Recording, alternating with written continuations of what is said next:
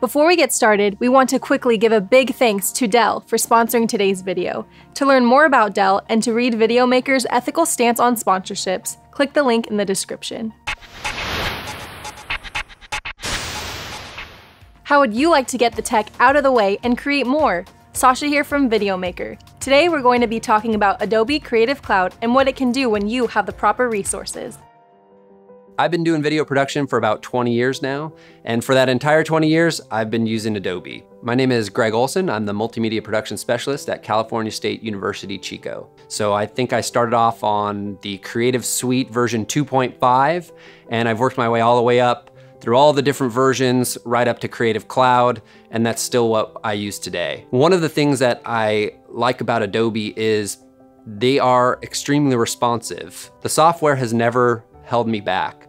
And in fact, it's quite the opposite. I know that when I'm ready to make the next leap, so for instance, going from high definition to 4K video, it's a little daunting as a video producer to make those leaps because you're used to doing it one way and it works, but you know you need to kind of stay current with the trends. And Dell and Adobe have always been there one step ahead of me. Make the jump to 4K, again, seamless. I'm still just playing video on a timeline. You know, it's really great that the computing power and the applications are right there with us to help us stay current and to help us as video producers really not think about the computer. Dell Precision workstations allow me to focus on my project and not the hardware. I don't have to think about what my computer's doing and what my software is doing, and that's really the whole goal. It's great to know that the footage that we're shooting today, we're gonna be able to use that for the foreseeable future. I mean, it's upwards of 4K. We actually shoot a little bit higher than 4K.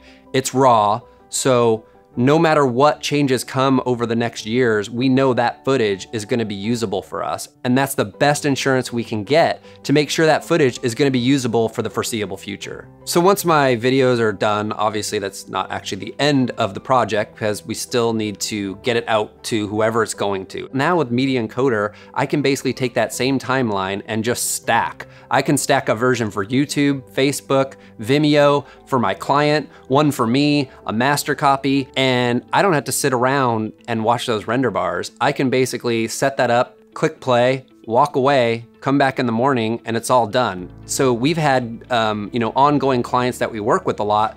We just have presets now.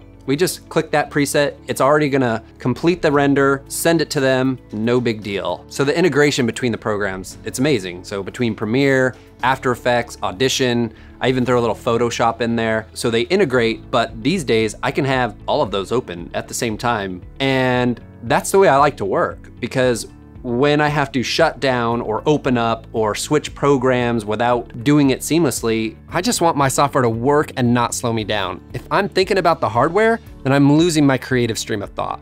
Also, it saves me time because I'm no longer waiting for programs to open or close or to render and that is making me far more efficient. I can take on more projects, I can do better work in the same amount of time, and that's what it's all about. So I'm really actually appreciative that Premiere has allowed me to not think about that when I'm making videos. So there you have it. No matter the work you do, your machine shouldn't slow your creativity down.